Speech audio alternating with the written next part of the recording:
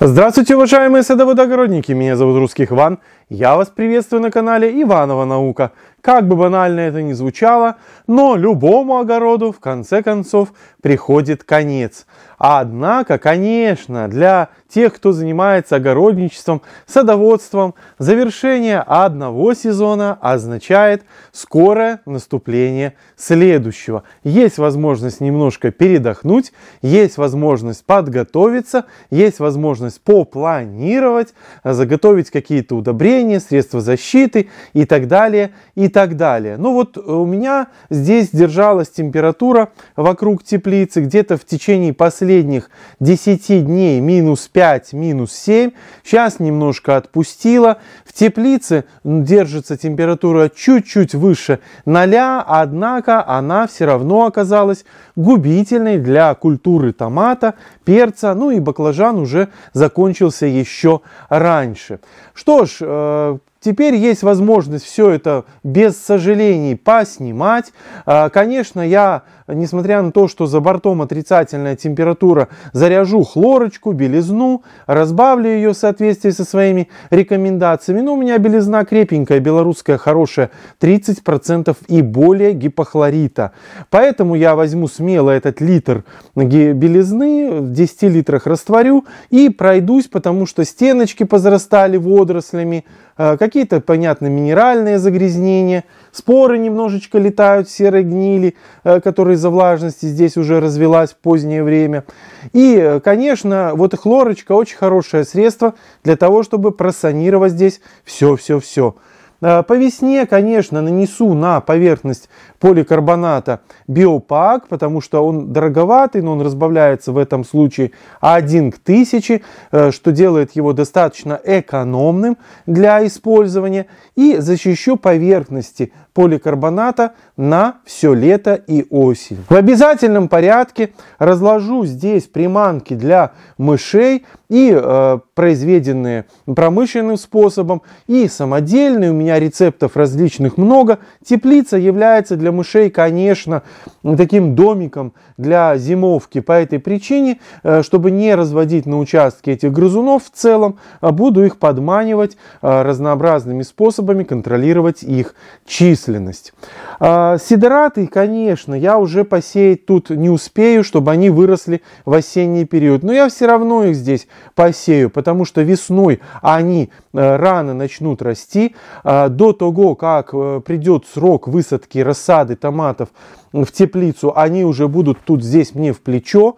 И затем я эту зеленую массу уберу и впоследствии уложу между рядками, между растениями высаженных овощных, э, перца, томата, баклажана, огурца. Я все выращиваю в одной теплице, она у меня пока одна единственная. Но благодаря различным подходам, технологиям, индивидуальным подкормочкам, опрыскиваниям, э, в одной теплице вполне реально совместить все эти растения. Мы весь год, весь весь сезон об этом говорили, о разных методах и подходах. Ведь вот понимаете, самое главное, самое главное, что мне важно показать вам и продемонстрировать здесь, в этой теплице, что растения умерли не от болезней, не от вредителей. Они умерли от погоды. Если бы погода позволяла, то эти растения бы росли, росли и росли. И всего этого мы добились благодаря использованию использованию препаратов серии Биоцо.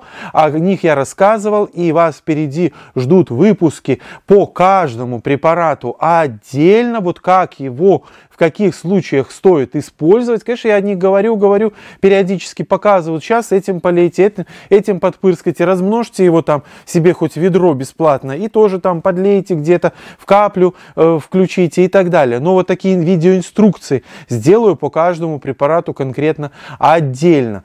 И э, они по полностью, полностью позволяют держать вам ваши теплицы, открытый грунт без болезней. И как я в одном из выпусков говорил, именно именно болезни и зачастую вредители являются тем фактором, который полностью ограничивает возможности длительного сбора урожая. А что такое сокращение сроков сбора урожая? Это потеря ваших денег. А э, экономика, особенно теперь, является очень важной для нас, огородников. Ведь нам же нет смысла выращивать, мы же не выращиваем на выставку огромные там тыквы или еще что-то, да, чтобы с кем-то посоревноваться и на ярмарке тщеславия побывать. Нам надо съесть здоровое, вкусное, долго, дешево и полезно. Вот чего мы и добиваемся. Но на самом деле в целом огородный сезон у меня еще не закрыт. Как бы странно это ни звучало в декабре уже, да, но все еще можно сходить в огород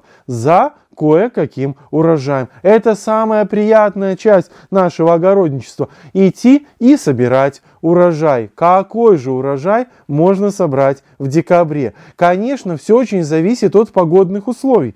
Вот снежок у нас лег немножко, температурка была низкая, как я уже сказал, а однако земля еще не замерзла. И по этой причине первый урожай, за которым я пойду, это урожай моей любимой листовой капусты кале. Она выдерживает довольно низкие температуры благодаря накопленному сахару в листиках. В ней сохраняются витамины, все-все-все полезные вещества, характерные для капусты. И я даже хочу сказать, что вот в такой период времени собранные листики даже как-то мягче и даже вкуснее. Поэтому добавить в щи, добавить в тушеные какие-то овощи, там еще кабачочки хранятся, тыква, еще что-то, какое-то рагу сделать, это всегда очень хорошо. Это же дополнительная польза для нашего организма. Не отступает от капусты кале и другая капуста, белокочанная, если вы еще полностью не вырубили, э, не, не убрали, то можно завершить этот процесс до э, наступления устойчивых и сильных морозов. Вот у нас еще, так сказать, колебания идут, то тепло, то морозно, то тепло, то морозно. Капуста еще не повредилась настолько, чтобы она ну, не могла быть убрана. Замечательно. До этого периода времени на грядках сохраняется капуста кайраби. Благодаря тому, что у нее очень много сахаров накапливается в вот в этой разросшейся части, а она сохраняется очень хорошо. И вместо того, чтобы ее э, срезать в раннее время и закладывать куда-то, чтобы она там высыхала, морщилась, я какое-то количество э, этих вот э, стеблеплодов таких сохраняю, кочерыжек, в полевых условиях. Пока земля не замерзла, вполне еще можно убирать столовые корнеплоды. У меня э, поздний посев был репы, редьки маргеланской, дайкона. И, конечно, я с удовольствием еще таскаю из земли эти овощи. Также, благодаря накопленным сахарам, они замечательно еще сохраняются, пока их можно э, вытаскивать из незамерзшей земли. Между прочим, наши зрители делятся своими секретами в комментариях, поэтому читайте комментарии, там можно много всего полезного тоже найти. Молодцы зрители, делятся опытом, что если сделать очень хорошее мульчирование, то даже в течение зимы, весной можно вытаскивать морковь и свеклу из грядок, и она прекрасная, сочная и замечательно там хранится. Ну, почти как в буртах. Ну и до самой весны на самом деле можно хранить такой замечательный овощ, как лук-порей прямо на грядках. Конечно, в середине зимы, когда уже холод сковал э, землю, когда навалило очень много снега, выкапывать там, как копытом какой-нибудь кабан, выбивать его не будешь, этот лук.